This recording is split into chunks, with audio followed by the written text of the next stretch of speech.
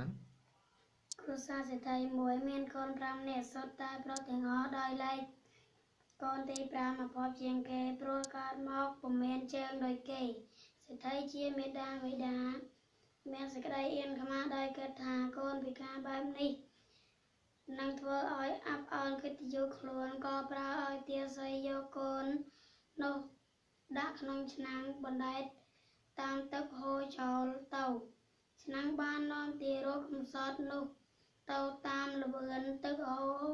អស់មួយរាត្រី បានដល់ភូមិជនបទមួយ ដែលព្រាមរស់នៅព្រាមនោះ ជាអ្នកចេះវិជ្ជាពេទ្យយ៉ាងស្ទាត់ជំនាញផងព្រាមបានរើសឆ្នាំងនោះក៏ឃើញទារត់កំបត់ជើងទាំងសងខាងនៅរស់នៅឡើយ គាត់មានសេចក្តីត្រេកអរខ្លាំងណាស់បានយកទារត់នោះទៅចិញ្ចឹមបីបាច់ថែរក្សាទុកដូចជាកូនបង្កើតរបស់ខ្លួនអញ្ចឹងដោយដាក់ឈ្មោះឲ្យកូននោះថាកុំភៈកុមារចំណែកទាស័យដែលបានយកទារត់ទៅបណ្ដែតទឹកចោលនោះវិញមានសេចក្តីអាណិតអាសូរទារត់នៅជាពុនពេកដេកមិនលប់នៅផ្ទះកណ្ដាលអត្រាតនាងសម្រេច ចិត្តរត់ចេញរត់ចេញពីផ្ទះសិទ្ធិ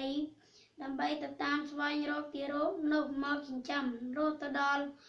ភូមិមួយនាងបានជួបទារកនៅជាមួយព្រាមប៉ុន្តែនាងមិននិយាយអ្វីទាំងអស់បែរជាសំព្រាមនោះបំរើដោយឥតយកថ្លៃឈ្នួលអ្វីទៅវិញព្រាមនឹកក្នុងចិត្តថា អស្ចារ្យណាស់ទារកនេះជាមហាប្រសើររបស់អញហើយគ្រាន់តែមកដល់ផ្ទះមានខ្ញុំបំរើភ្លាមចុះអីគ្រូអានត្រឹមនេះសភៅថ្នាក់ទីប៉ុន្មានហ្នឹងទី8កុហកហ្នឹងទី8មានថ្នាក់ទីប៉ុន្មានទី1ដែរ